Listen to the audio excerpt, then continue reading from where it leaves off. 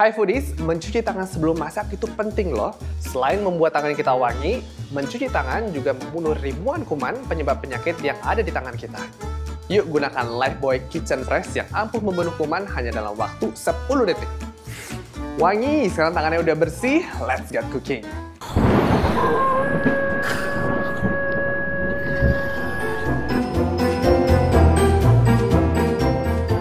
Foodies, welcome back to Kokiku TV bersama saya Yuda Bustara. Hari ini saya mau buat sajian yang paling ada di semua fast food.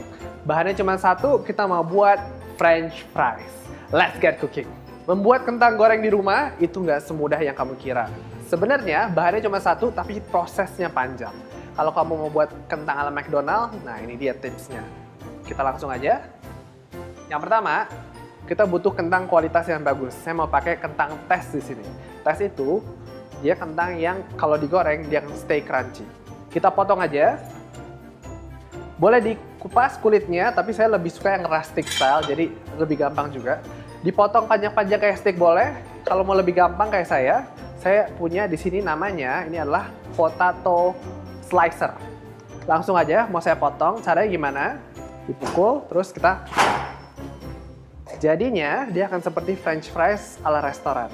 Nah tapi kalau kentangnya Indonesia biasanya dia lebih kecil. Jadinya dia pendek-pendek. Kalau kamu menemukan kentang yang lebih besar, nanti dia jadinya yang ala-ala McDonald, yang panjang-panjang. Nah gampang kan?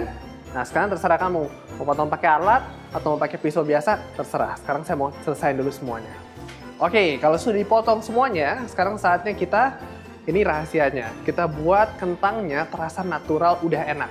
Caranya gimana? Kita rendam kentangnya tadi saya masukin dalam baskom yang udah saya isi air. Lalu, saatnya kita kasih bumbu rahasianya. Kita kasih garam. Garamnya seberapa banyak? Nah, ini sesuai selera. Kalau kamu buatnya kentangnya banyak, boleh masukin banyak garam. Sudah tercampur kentang dan terendam baik, kira-kira 4 jam supaya kandungan di dalam kentangnya atau starchnya keluar ke airnya. Yang waktu digoreng, dia akan crispy dan penuh rasa. Kita diamkan, boleh juga diamkan semalaman. Oke, sudah saya diamkan kira-kira 4 jam, atau nggak ditinggalin semalaman, nggak perlu di kulkas, ditaruh di luar juga nggak apa-apa. Kita keringin aja, caranya gimana? Boleh ditiriskan, boleh juga dilap pakai kain. Oke, saya siapin minyak panas di sini. Tapi jangan terlalu panas, kira-kira sedang aja. Kenapa? Karena ntar kita akan double fry. Jadi pertama digoreng, nanti kita goreng lagi kira-kira 150 derajat. Oke, kita goreng kira-kira 5-10 menit. Dia nggak akan berubah warna, tapi dia udah matang. Lalu kita tiriskan. Oke, kentangnya ini udah setengah matang. Tapi, dia belum crispy, dia lembut. Nah, kita kan mau cari buat crispy. Caranya, kita goreng lagi di api yang super panas, kira-kira 200 derajat Celcius. Apinya kita panasin, kita tunggu sampai benar-benar panas, lalu kita goreng lagi.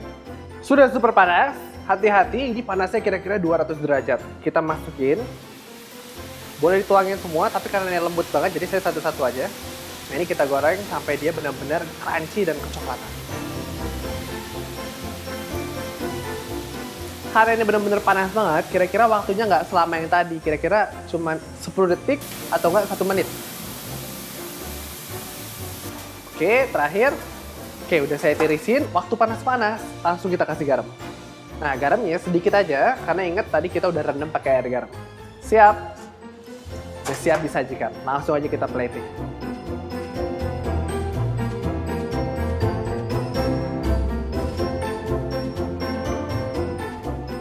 Sekarang foodies di rumah udah tahu gimana caranya buat crunchy french fries di rumah. Sebelum dan sesudah masak, jangan lupa cuci tangan.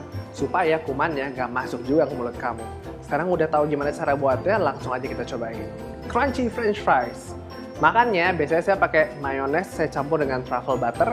Kalau nggak, honey mustard pun boleh. Gampang banget cara buatnya.